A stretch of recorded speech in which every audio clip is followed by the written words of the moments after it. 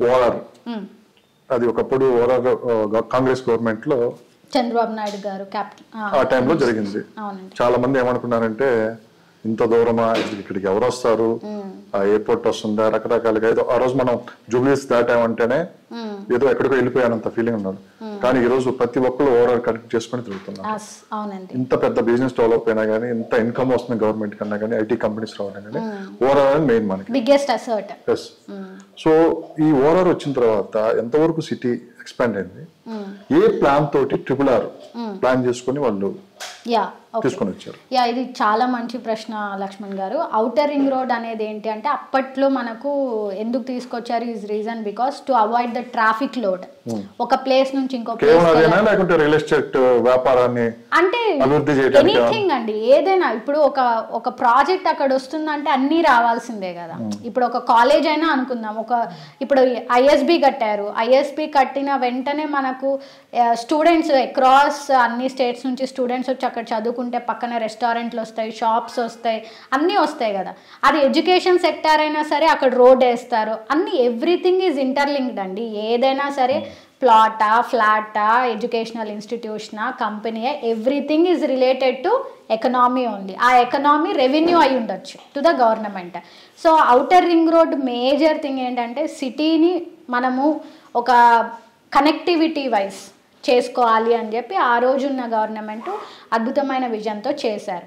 But ఇప్పుడు ఏమైపోయింది? Outer ring road is only with certain exits and entry points whereas దీనివల్ల ఏంటంటే ఇంకా రీజనల్ ప్లేసెస్ని కనెక్ట్ చేయట్లేదు. సిటీ ఎగ్జిట్ పాయింట్స్ ఉన్నాయి కానీ regional of parts of Telangana is not connecting to the city అందుకు రీజనల్ రింగ్ రోడ్ వచ్చింది. Regional ring road ఏంటి? It connects outer ring road exits and regional parts of Telangana to the city అది ఇంకా ఓవర్లోడ్ని తగ్గిస్తుంది అనమాట so regional ring road కూడా వచ్చింది అంటే హైదరాబాద్ అనేది more easy accessible to even rural places of Telangana regional ring road triple R అంటే రీసెంట్గా గవర్నమెంట్ కొత్త గవర్నమెంట్ కూడా చెప్పింది. ఒక సొంత ఫండ్స్ పెట్టుకొని మేము మూడు వందల నలభై కోట్ల దాకా ఖర్చు అవుతుంది. అది మా సొంత ఫండ్స్ తోనే ఈ రీజనల్ రింగ్ రోడ్ కూడా డెవలప్ చేస్తా అని చెప్పి కూడా విత్ ఇన్ తక్కువ టైంలోనే ఇది అంతా కంప్లీట్ చేస్తాం.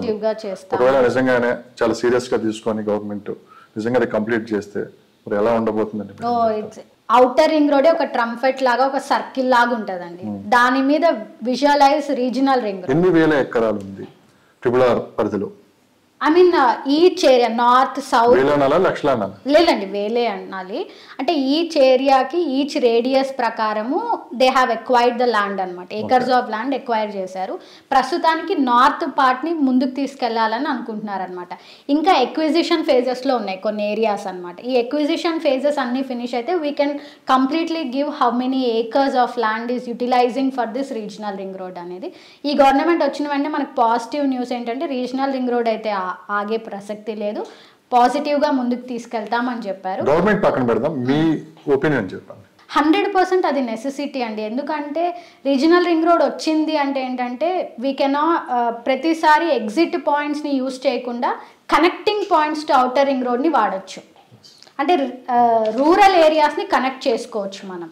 That will be added advantage అంటే దూరం కూడా దగ్గర అవుతుంది మనకు. సిటీ ఇంతవరకు ఎలా డెవలప్ అయింది? ఇంకా రాబోయే కాలంలో సిటీ ఎంత ఎక్స్పాండ్ అవబోతుంది వరల్డ్లో ఏ ప్లేస్లో ఉండబోతుంది? Okay see first of all నేను రియల్ ఎస్టేట్ బేస్ మీద మాట్లాడట్లేదు. ఐటీ. రియల్ ఎస్టేట్ ఇక్కడ రకరకాల వ్యాపారాలు ఉన్నాయి మొత్తం మీరు ఓవరాల్గా చూసుకున్నాం అంటే ప్రభుత్వాలతో సంబంధం లేదు. హైదరాబాద్ బేసికల్గానే ఇట్స్ యూనిటీ ఇన్ డైవర్సిటీ అనమాట అంటే ఎక్కడి నుంచి వచ్చిన వాళ్ళైనా ఇక్కడ ఉండగలుగుతారు. సిటీ సిటీలో ఇంకా డెవలప్మెంట్స్ అవ్వడానికి ఏం లేదండి. ఆల్రెడీ ఉన్న రోడ్స్ని డెవలప్మెంట్స్ చేసుకుంటూ ఇంకొంచెం బెటర్ ఇన్ఫ్రా చేయగలుగుతామే తప్పిస్తే ఇక్కడ ఇంకా ఎక్స్పాన్షన్ చేయడానికి మనకు ల్యాండ్ అవైలబిలిటీ లేదు. Internal of city core part of city. So లా ఇప్పుడు హైదరాబాద్ సిటీ ఇంకా పెద్దగా అవుతుంది వాస్ట్గా అవుతుంది. So regional ring road connectivity outer ring road ఇవన్నీ కాగా మనకు ఓపెన్ ల్యాండ్ బ్యాంక్ ఏదైతే వస్తుందో వాటన్నిటిని బేస్ చేసుకొని మీరు అన్నట్టు ఆ ప్రీవియ మన రేవంత్ రెడ్డి గారు కూడా కొన్ని పాయింట్స్ చెప్పారు లైక్ అదే come up with housing board కాలనీస్ని తీసుకొస్తాము టౌన్షిప్స్ని తీసుకొస్తాము అని. అండ్ ఇక్కడ కూడా ఏంటంటే వాళ్ళు హైదరాబాద్ నుంచి అవుటర్ రింగ్ రోడ్ వరకు urban Telangana outer ring road నుంచి రీజనల్ రింగ్ రోడ్ వరకు suburban Telangana regional ring road నుంచి తెలంగాణ బార్డర్స్ వరకు రూరల్ తెలంగాణ అని. ఇలా కనుక విజువలైజ్ చేశాము అంటే ఇప్పుడున్న సిటీ ఇంకొక త్రీ ఎక్స్లో మనం విజువలైజ్ చేయొచ్చు. ఎన్ని సంవత్సరాలు? Maybe it may take fifteen years పట్టొచ్చండి ఈజీగా ten to fifteen years Chandrababu Naidu garu పెట్టినప్పుడు విజన్ ఫార్టీ అన్నట్టు మీరు విజన్ ట్వంటీ ఫిఫ్టీ కూడా రియల్ ఎస్టేట్ మీద పెట్టినట్టు విజన్ ట్వంటీ ఫిఫ్టీ అనొచ్చు. చంద్రబాబు నాయుడు గారు విజన్ ట్వంటీ ట్వంటీ అన్నారు. ఇప్పుడు ట్వంటీ ఫిఫ్టీ ఎందుకంటే everything has to come into place కదా ఇప్పుడు కొత్తగా గవర్నమెంట్ మారిన తర్వాత విజయవాడ హైవే కూడా కొంత బస్ క్రియేట్ అయ్యి బస్ క్రియేట్ అయింది. కొంత అటువైపు కూడా చూస్తున్నారు. ప్లస్ యాదగిరి గుట్టు కూడా కొంత మళ్ళీ లైన్ లైన్లోకి వచ్చింది. యాదగిరి గుట్ట ఇంకా మనకంత ప- అంటే రీజనల్ రింగ్ రోడ్ వల్ల పాజిటివిటీ వచ్చిందండి. అక్కడ ఏం పర్వాలేదు అని. బట్ ఇంకా ఈస్ట్ వైపు ఇంకా డెవలప్మెంట్స్ రావాలి. ప్రీవియస్ గవర్నమెంట్ ఉన్నప్పుడు మనకి ఈస్ట్లీ పాలసీ అని తీసుకొచ్చారు. అక్కడ ల్యాండ్ ఇస్తాము కంపెనీస్ పెట్టండి అని. బట్ అక్కడ నెంబర్ ఆఫ్ కంపెనీస్ తక్కువ ఓన్లీ ఇన్ఫోసిస్ ఒక్కటే ఉంది. బట్ ఈ గవర్నమెంట్ కనుక ఈస్ట్లీ పాలసీ మీద ఫోకస్ చేసి regional ring road work out అయిపోయింది అంటే మాత్రం ఈస్ట్ కూడా బాగుంటుంది. సో అది కూడా కంప్లీట్ అయిపోయింది అనుకుందాం. Sravanthi garu east north south west. ఇప్పుడు ఇన్వెస్ట్ చేసే వాళ్ళకి ఎటు సైడ్ ఇన్వెస్ట్ చేయాలంటే మీరు ఏం చెప్తారు? ఇప్పుడు ప్రస్తుతానికైతే సౌత్లో ఇన్వెస్ట్ చేయమని చెప్తామండి బెంగళూరు హైవే ఇన్వెస్ట్ చేయండి. ఎందుకంటే ఫ్లక్చువేషన్స్ లేవు ఎలాంటి స్పెక్యులేషన్స్ లేవు పానిక్ అవ్వాల్సిన అవసరం లేదు.